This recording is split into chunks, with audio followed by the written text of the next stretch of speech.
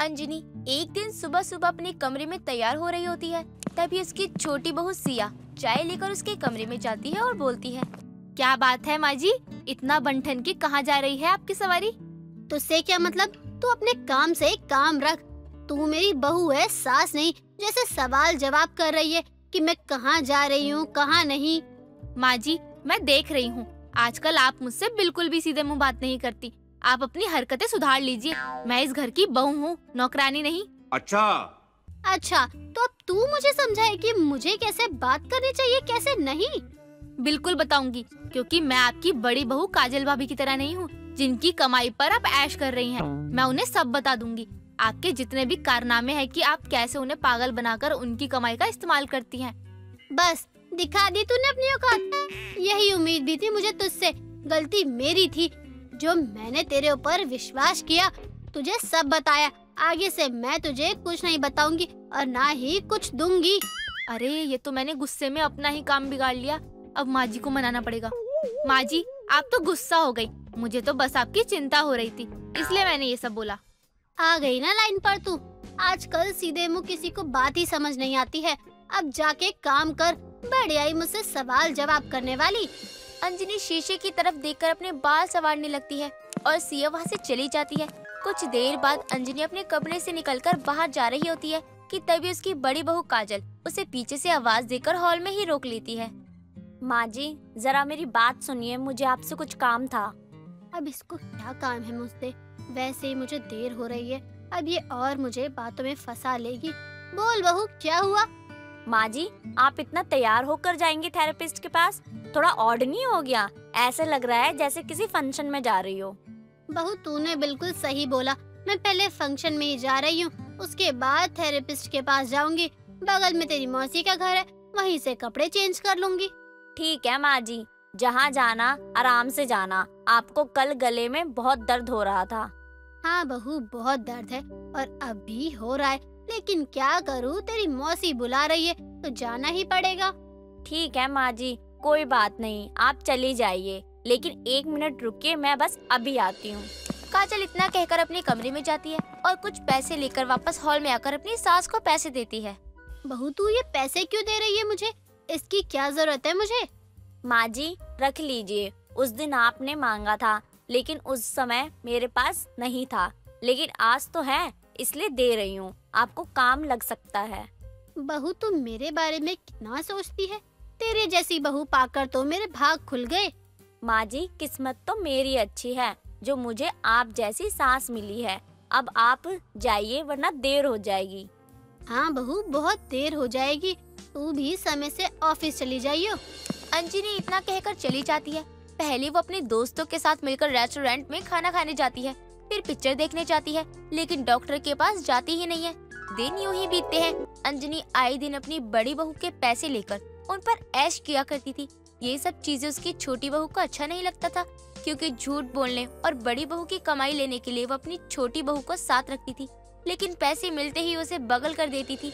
एक दिन उसी की छोटी बहू उसके पास आती है। माँ जी, मेरी बहन की ननद की शादी है। आप मेरे लिए एक सोने का हार बनवा दीजिए। मैं भी सोने का हार पहन कर जाना चाहती हूँ। बाप यहाँ छोड़कर गया था कि तेरी माँ? हार? वो भी सोने का? शक्ल देखिए तूने अपनी। कहीं से सोने का हार पहनने वाली नहीं लग रही। माँ जी अब आपका बहुत हो रहा है। जेठानी जी की कमाई पर आपको ज़्यादा ही ऐश कर रही हैं। जब उनसे पैसे लेने होते हैं तब तो आप तुरंत मुझे अपने साथ ले लेती हैं। लेकिन जैसे ही पैसे मिल जाते हैं मुझे बगल में कर देती हैं। इस्तेमाल करने के बाद वेस्ट पेपर फेंक देना चाहिए। और तू मेरे लिए वही है। अगर तुझे इतना ही सोने का हार पहनने का शौक लग रहा है तो अपने पति को बोलना, जो घर की ज़िम्मेदारी से बचने के लिए बाहर पढ़ने के बहाने से जा रहा है। बड़ी बहू नहीं होती तो भीख मांगने की नौबत आती मेरे बड़े बेटे के मरने के बाद। आज बड़ी तारीफ़ कर रही हैं आप अपनी बड़ी बहू की। वो भी सिर्फ़ इसलिए क्योंकि आपको उनकी कमाई पर ऐश करनी है। लेकिन अगर उन्हें पता चल गया कि उनकी कमाई पर ऐश करने के लिए आपने उनके बच्चे को भी मार दिया था उन्हें गलत दवा पिलाकर तो वो आपको अपनी कमाई की एक फूटी कौड़ी नहीं देंगी। घर छोड़कर और चली जाएँगी। अच्छा और ये बात उसे बताएगा कौन? मैं बताऊँगी सब बताऊँगी क्योंकि आप मुझे कुछ नहीं दे रही हैं। अब मुझे भी तो अपने फ़ायदे के लिए कुछ तो करना ही पड़ेगा ना। फिर सोचो आपका क्या होगा। अपने बाप को मत सिखा तुझे जो करना है जाके कर ले। वैसे तो आप बाप नहीं माँ हैं। लेकिन अगर आपने मुझे अपनी बहन के यहाँ जाने से पहले सोने का हार बनवा के नहीं दिया तो मैं ज़रूर जेठानी जी को सब बता दूँगी। और मेरे पास आपके इस कारनामे का वीडियो भी है। बाकी मर्ज़ी है आपकी। सिया की बात सुनकर अंजनी थोड़ी सी परेशान हो जाती है और अगले दिन सुनार के यहाँ जाकर सोने का हार का ऑर्डर दे आती है। कुछ टाइम बाद सुनार सोने का हार लेकर घर आता है और काजल से बोलता है बहू तुम्हारी सास कहाँ है? दिखाई नहीं दे रही। बैठी है अंकल जी। माँ जी बस अभी थोड़ी देर पहले बाहर गई हैं। पूरे दिन घर में बैठे बैठे परेशान हो जाती हैं। कोई खास काम है क्या? बहू, वो तुम्हारी सास मेरे यहाँ हार का ऑर्डर देने आई थी। बहुत जल्दी में थी। कह रही थी कि उन्हें ये हार अपनी बहू के लिए चाहिए और बहुत जल्दी चाहिए। तो मैं सारा काम धाम छोड़कर पहले ये हार देने के लिए आ गया।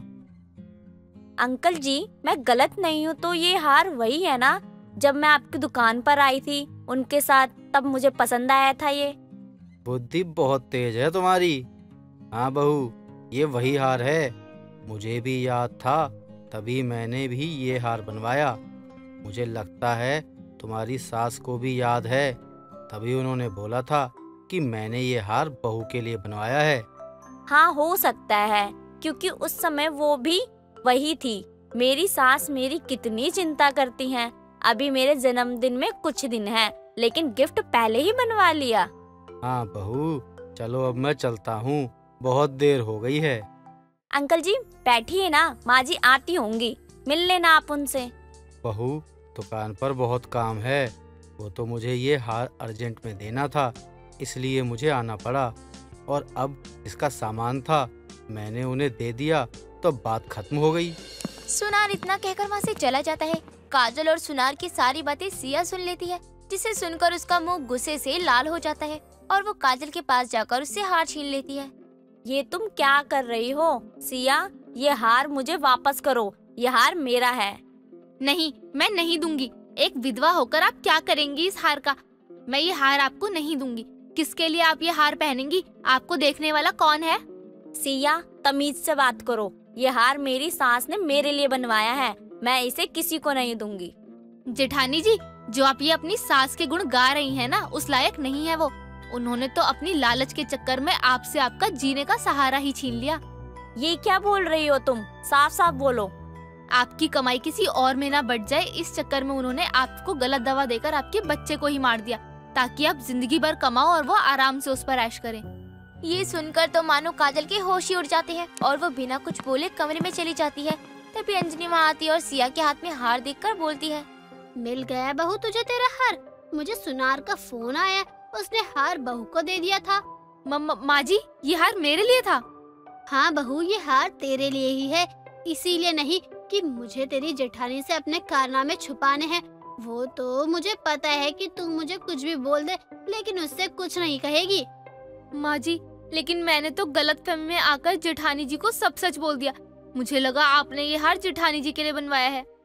सिया अंजनी को अपनी मूर्खता के बारे में बता ही रही होती है कि तभी काजल अपना सामान लेकर आती है और अपनी सास को खरी खोटी सुनाकर वहाँ से हमेशा के लिए चली जाती है और दोनों सास बहू अपना सर पकड़कर हॉल में ही बैठ जाते हैं।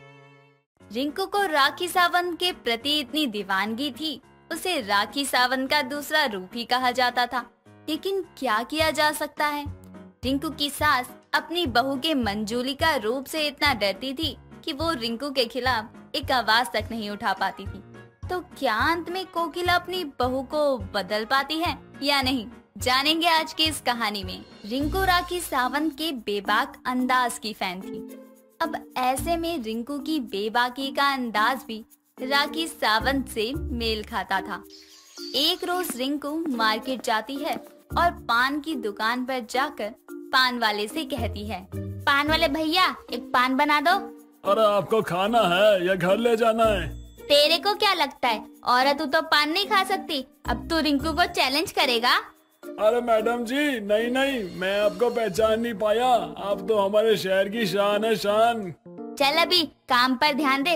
औरत देखी नहीं कि कोई बहाने का मौका नहीं छोड़ते। रिंकू को कोई भी कुछ भी बोलकर चला जाए या उसे औरत कहे ये उसे बर्दाश्त नहीं था। तभी रिंकू मार्केट से लौट रही होती है और एक लड़का जो कि बाइक से जा रहा होता है वो रिंकू से कहता है आंटी वो आपकी साड़ी का पल्लू। ओए तेरे घर में माँ बहन नहीं है बेटी नहीं है जो तूने मुझ पर रिंकू पर लाइन मारी? अरे ऊपर से मुझे आंटी बोला तेरी माँ तेरी बीवी आंटी तेरा पूरा खानदान औरतों का आंटी से भरा होगा तू पापा बनने से पहले गंजा हो जाएगा। अरे मेरी माँ मैंने आपको लाइन नहीं मारी है। आपके साड़ी का पल्लू उस कुत्ते ने पकड़ रखा है। ये सुनकर जैसे ही रिंकू अपने पीछे देखती है तो सच में कुत्ता उसकी साड़ी का पल्लू पकड़े खड़ा था। ऐसे में रिंकू ये देखकर इधर उधर भागने लगती है और उस लड़के को कहती है तुझे तो बोलना चाहिए ना कि मेरे पीछे कुत्ता है। कमीने तुझे तो मैं देख लूँगी। हाँ हाँ चल चल। पहले ना इस कुत्ते से अपना पीछा छुड़वा। उसके बाद ना मुझे देख लियो। बड़ी आयशानी अब जैसे तैसे रिंकू उस कुत्ते से अपना पीछा छुड़वाती है और भागते हुए घर पहुँचती है और अपने हॉल में जाकर हाथ पैर फैलाकर हाफते हुए पड़ जाती है। ये देखकर रिंकू की सास कोकिला रिंकू से कहती है आज फिर कोई नया कांड करके आई है क्या? मुझे इसे मार्केट जाने ही नहीं देना चाहिए था। माँ जी क्या बताऊँ आपको? मेरे पीछे एक कुत्ता पड़ गया था और वो मेरे साड़ी के पल्लू को अपने दांत से पकड़े हुए था। अच्छा है, कल तक तो मोहल्ले के लौंडे तेरी साड़ी का पल्लू पकड़कर तुझे घर छोड़ जाया करते थे। अब कुत्ते को भी तुझ में तो कुछ नज़र आया ही होगा, जो उसने तेरी साड़ी का पल्लू पकड़ लिया। आप कहना क्या चाहती हैं? ये कुत्तों को भी मुझमें इंटरेस्ट आने लगा है? वो तो कुत्ते ही जाने, ना जाने उस बेजुबान को तुझ पे क्या दिख गया। देर शाम कोकिला की पड़ोसन विमला कोकिला के घर आती है और कोकिला से कहती है, कोकिला, कहाँ है तेरी राखी सावंत की डुप्लीकेट बहू? पता है उसने आज मोहल्ले में लौंडो को क्या कहा है? देख विमला, इसकी बातें मुझे जानने में कोई दिलचस्पी नहीं है, लेकिन मोहल्ले के लड़कों की ज़िंदगी का सवाल है। बता, क्या किया इसने? इसने कांता की पोती को टॉफी दिलाई होगी। तो कांता का बेटा तेरी बहू से कह रहा था कि रिंकू भाभी आपका दिल बहुत बड़ा है लेकिन पता है तेरी बहू ने क्या कहा? तेरी बहू ने कहा कि मेरा दिल ही नहीं मेरा तो सब कुछ बड़ा है दिखता नहीं क्या? राम राम ना जाने कैसी औरत को ब्याह लाया है मेरा बेटा एक नंबर की कुलक्षणी है ये। फिर जाते जाते बोली मेरा किडनी फेफड़ा लीवर की बात की मैंने और यहाँ से मुस्कुराते हुए चली गई। विमला, मैं तो इस औरत के रोज रोज की शिकायतों से परेशान हूँ। कल की ही बात है। पान वाले की दुकान पर रामलाल को देखा है ना? हाँ वो बुढ़ा, जिसके आखिरी दिन चल रहे हैं, मुँह को दांत नहीं, पैरों में जान नहीं, और चलता है ऐसा लगता है जैसे मुर्दों का सरदार कब्र से निकल कर चल रहा है। हाँ हाँ वही बुढ़ा। उसने रिंकू को देखा होगा। इसने डीप कट ब्लाउज पहना था, और इसने उस बुढ़े को कहा होगा कि यहाँ क्या देख रहा है? ये सब तेरे लिए थोड़ी बनाया है। मुँह में दांत नहीं और चला मुझे लाइन मारने। जा, जाकर कब्र में सो जा, कम से कम तुझे मुक्ति तो मिलेगी। बता, उसकी बुढ़िया तो घर आ गई होगी लड़ने के लिए। लड़ने की बात करती है, बहुत हंगामा करके गई है वो तो और ऊपर से बोली, अपनी बहू को समझा ले। भले ही मेरे बुढ़े की उम्र हो गई है, लेकिन जवानी अभी भी बाकी है। अब विमला के जाने के बाद टिंकू अपनी सास को देखकर कहती है, क्यों माँ जी? हो गई मेरी चुगली। इस विमला की बच्ची को तो मैं देख लूँगी। पहले आपको तो निपटा लूँ। क्या कह रही थी आप? कुलक्षणी। अरे बहु, विमला आई थी मुझे तेरे बारे में भड़काने के लिए। मैंने भी कह दिया, कैसी बात कर रही है तू? मेरी बहू तो कुल की लक्ष्मी है। तू तो उसे खाम बदनाम कर रही है। अच्छा माँ जी ऐसा कहा आपने। तभी तो आपके पैर काँप रहे हैं ना। चलो, कोई बात नहीं माँ जी डरो नहीं नहीं बनूँगी मैं रात में मंजुलिका हाँ बहू, अब तू जा, आराम कर ले जाकर। इतना बोलकर जैसे ही रिंकू वहाँ से जाती है, वैसे ही कोकिला सोफे पर बैठकर खुद से कहती है। हे भगवान, बचा लिया आपने मुझे इस औरत से। ना जाने आज फिर इसका मूड बना हुआ था मंजोलिका बनने का। पिछली बार ऐसे ही विमला की बात सुनकर मुझे सोने नहीं दिया था रात में। इस औरत ने मंजोलिका बनकर छाती पर चढ़कर बैठ गई थी।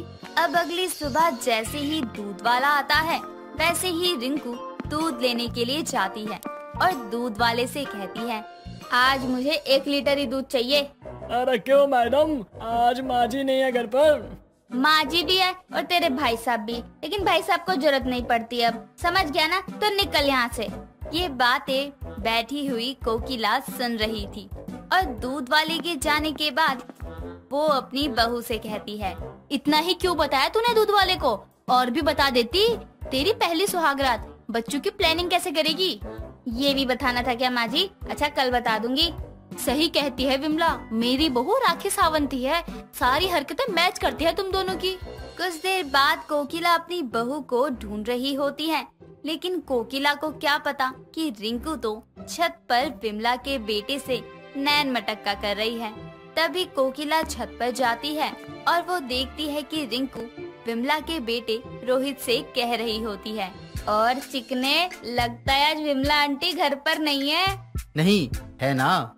रिंकू भाभी लेकिन मुझे लगता है भाई साहब घर पर नहीं है तभी तो आपने हम जैसे पर नज़र मारी। भाई साहब के होने ना होने से क्या फ़र्क पड़ता है? उनमें तो रोमांस का आर भी नहीं है।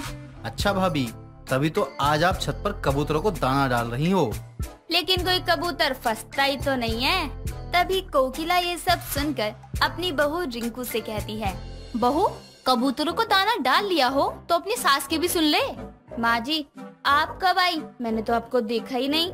बहू, जब तो अपने घर के कबूतरों को छोड़, बाहर के कबूतरों को फंसा रही थी, तभी आई हूँ, और ये विमला को आज आने दे।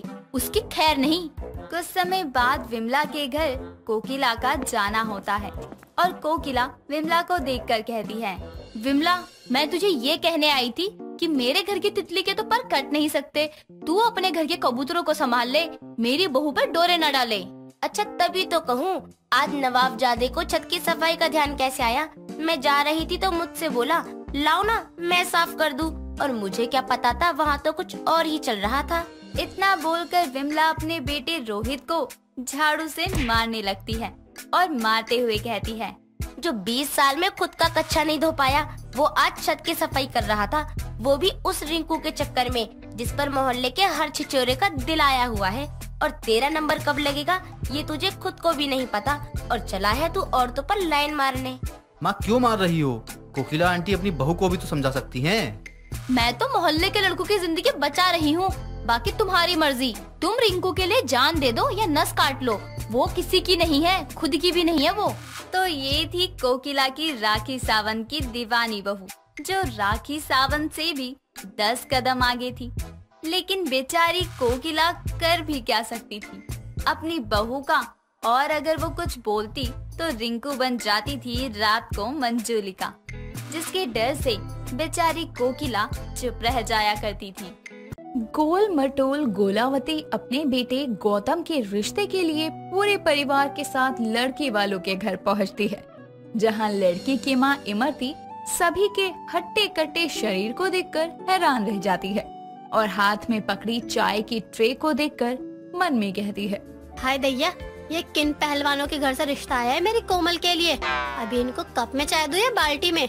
अरे बहन जी क्या सोचने लगी? चाय रख दो ठंडी हो जाएगी वरना।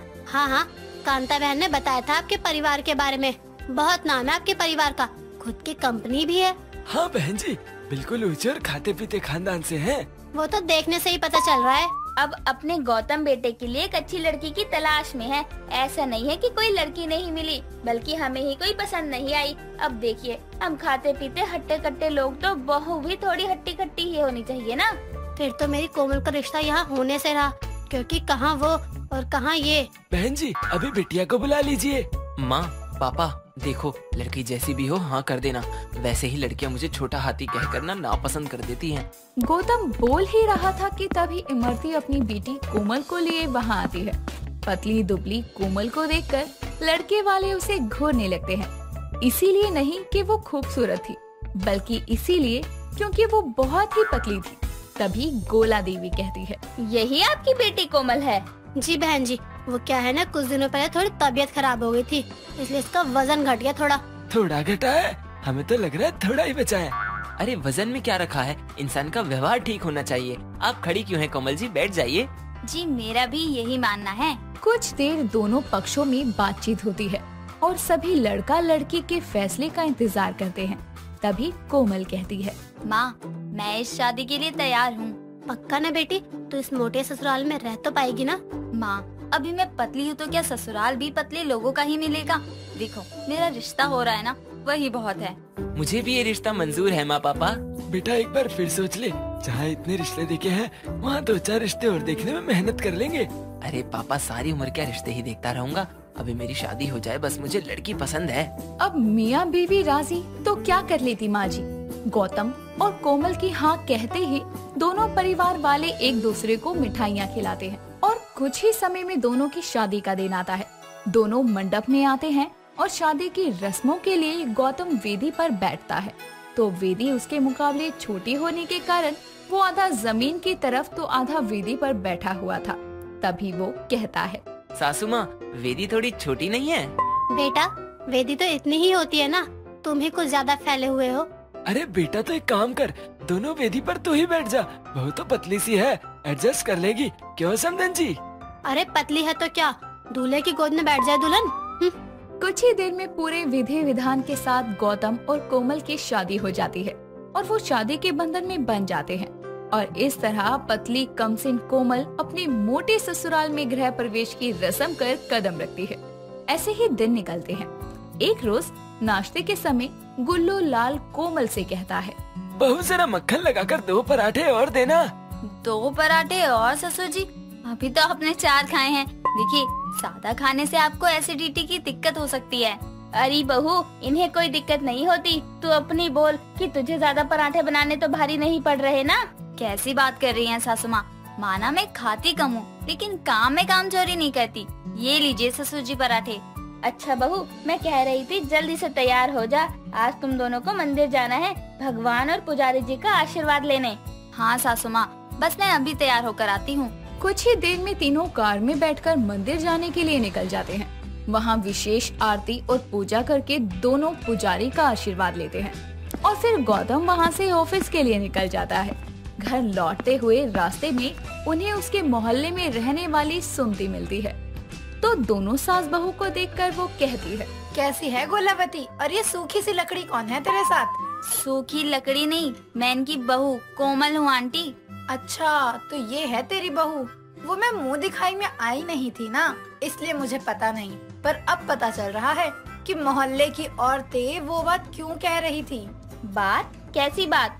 वही कि पतली बहू का मोटा ससुराल मतलब अब ससुराल वाले इतने खाते पीते मोटे हट्टे खाते हैं लेकिन बहू बहू झाड़ू की सीख से ले आए। अरे तो मेरी बहू हमेशा ऐसी पतली सुखड़ी थोड़ी रहेगी। अरे वो भी खाते पीते घर की बहू है। हाँ हाँ वो तो है ही। मैं तो बस वही बता रही थी जो लोग कह रहे थे। चलो चलती हूँ मैं। तुम दोनों सास बहू को देखकर याद आ गया कि मुझे कद्दू और ग्वार फली लेने बाज़ार जाना है। इतना कहकर वो हँसते हुए अपने रास्ते निकल जाती है। तभी गोलावती अपना सर खुजाते हुए कहती है हमें देखकर इसे सब्ज़ी की याद क्यों आई और ये हंस कर क्यों गई? मोटा शरीर और उससे भी मोटी बुद्धि। हंस कर नहीं आपको कद्दू और मुझे गवार फली कहकर मज़ाक बना कर गई है हम सास बहू का। चलिए अब। तभी सास बहू अपने घर चली जाती है। समय बीतता है। धीरे धीरे कोमल भी अपने ससुराल के माहौल में ढल जाती है। एक रोज गौतम अपने शर्ट के बटन लगा रहा था लेकिन उसके मोटापे के कारण वो एक बटन लगाता तो दूसरा खुल जाता। तभी कोमल नाश्ता लेकर वहाँ आती है और उसका ये हाल देखकर कहती है बस अब यही तो होगा। मोटापे के कारण कपड़े भी शरीर पर रुकने को राज़ी नहीं है। कितनी बार कहा है मैं मोटा नहीं हूँ बस खाते पीते घर का हूँ। बस बस अभी मुझे मत सिखाओ। खाते पीते होने का मतलब ये नहीं कि खा पी कर फूलते ही रहो। बताओ अब तो तुम्हें डबल एक्सेल शर्ट भी छोटी हो रही है। देखो मेरी मानो बढ़ता वज़न बीमारियाँ लाता है। हाँ हाँ समझ गया। अभी नाश्ता कर लूँ? जी नहीं ये नाश्ता मैं अपने लिए लाई हूँ। आप तो आज बिना नाश्ते के ही जाओ। हम्म। अरे अरे कोमल सुनो तो। अरे। कोमल नाश्ता वापस लेकर वहाँ से चली जाती है। और ना सिर्फ़ गौतम को बल्कि अपने सास ससुर को भी वो यही सलाह दिया करती थी। लेकिन सभी उसकी बात को एक कान से सुनकर दूसरे कान से निकाल दिया करती। एक रोज संडे के दिन दोपहर के खाने में कोमल सब के लिए खिचड़ी बना कर रखती है। जिसे देखकर उसकी सास कहती है। अरे ये तूने अपना खाना हम सबको क्यों परोस दिया बहू? हाँ बहू ये खिचड़ी विचड़ी में कोई स्वाद नहीं होता। हाँ तो कभी कभी बिना स्वाद की चीज़ें भी खा लिया कीजिए और खिचड़ी पौष्टिक होती है। अरे हमें नहीं भाती है खिचड़ी और छुट्टी के दिन तो कुछ स्वादिष्ट बना देती बहू। आप कैसे लोग हैं? आप ही बताइए। अच्छा लगता है क्या जब लोग कहते हैं कि ये देखो पतली बहू को मोटा ससुराल मिल गया जहाँ इंसान नहीं एक छोटा हाथी और दो छोड़िए। बहुत तो तू कौन सी ठीक ठाक है? मेरा बेटा छोटा हाथी तो तो उसके सामने गिलहरी मालूम पड़ती है। बस कीजिए आप लोग। अरे क्या मोटा पतला लगा रखा है? कोमल तुम्हें हमारी सेहत की फ़िक्र है मानते हैं। लेकिन हम भी तो धीरे धीरे ही अपने खाने की आदत में कंट्रोल कर सकते हैं ना? इसलिए अपने इन मोटे ससुराल वालों को थोड़ा समय दो। हाँ बहू और देख तू भी तो पतली है। लेकिन हमने कभी तुझे अपने जैसा बनाने की कोशिश नहीं की ना। अब लोगों का क्या है? वो पतली बहू का मोटा ससुराल कहते हैं। पर उन्हें क्या पता कि तुझे अपने इस मोटे ससुराल में किसी बात की कमी नहीं है? ये तो आपने सही कहा ससुर जी। अपने पतलेपन को लेकर जितने दाने मैंने सुने हैं वो सब मैं ससुराल आने के बाद भूल ही गई हूँ। यहाँ मैं जैसी हूँ वैसे ही आप लोगों ने मुझे पसंद किया। हाँ तो इसी बात पर हम सब आज खिचड़ी का ही लंच करेंगे। तभी सब हंसने लगते हैं। और एक साथ मिलकर खिचड़ी खाते हैं। और इस तरह कोमल अब अपने ससुराल वालों की खुशियों पर ज़्यादा ध्यान देती, न कि लोगों की बातों पर। दोस्तों, अगर आपको ये कहानी पसंद आई तो इसे लाइक करें शेयर करें और कमेंट करके बताएँ कि कहानी में आपको सबसे अच्छा क्या लगा।